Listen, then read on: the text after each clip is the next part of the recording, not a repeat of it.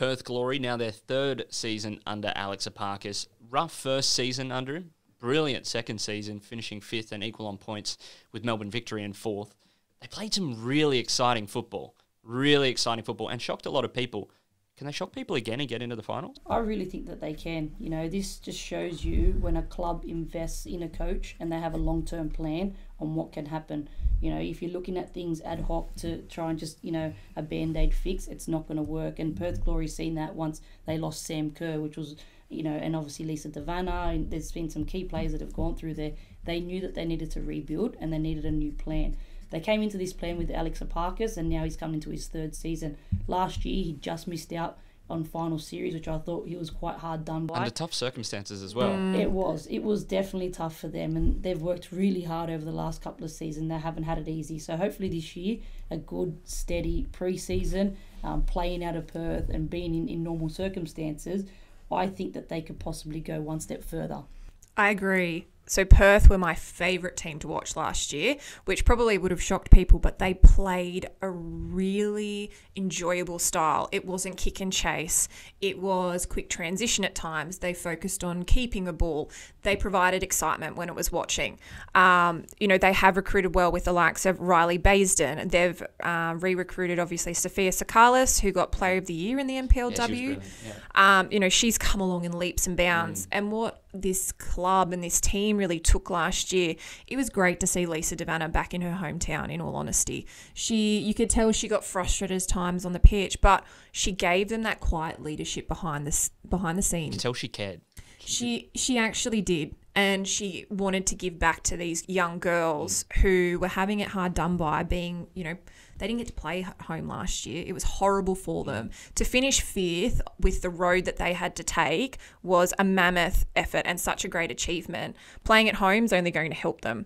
So for me, I'm really interested to see them really push for finals because I was really shocked by them last year. I mean, I called their first game of the season against Brisbane Roar at Perry Park, and I spoke to Alex Epakis after the game, and he was, it was a tough journey for them, tough journey, cross country, and they didn't get to play uh, in Perth. A really tough one for them. Now they're at Macedonia Park. It'll be an interesting year for them. It'll be an interesting year for them.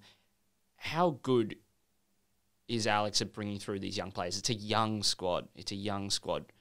But can we see those young players take another leap this year?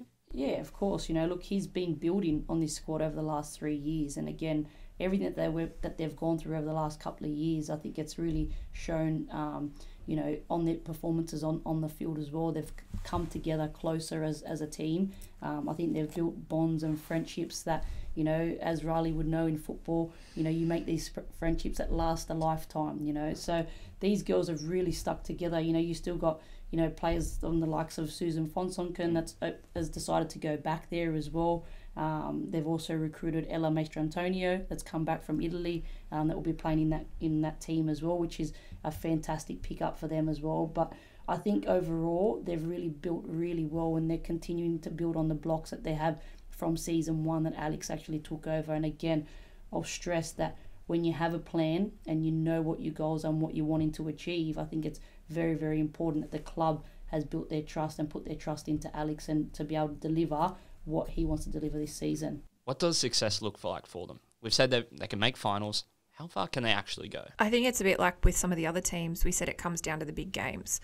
Everyone knows when you Perth were hard done by and the fact that they had no home games last year. The big thing for them is everyone hates travelling to Perth.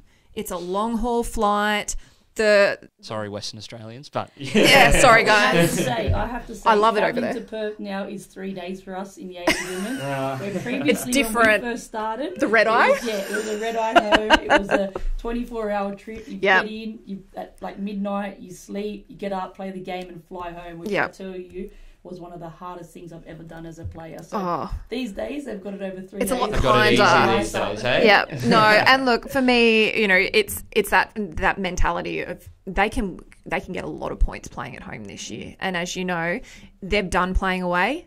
So for me, I think they've got the best of both worlds. They've they've got one over every team, whether it's home or away, they know they can do it. So realistically, I really see them pushing into that four and really producing some players who are going to stand out this year. yeah, I think look anything other than making the final series will be a disappointment for them. Um, I think you know this year is, is the year for them to really push for it. Um, they've got the team to be able to do it, and I look forward to watching them throughout the season.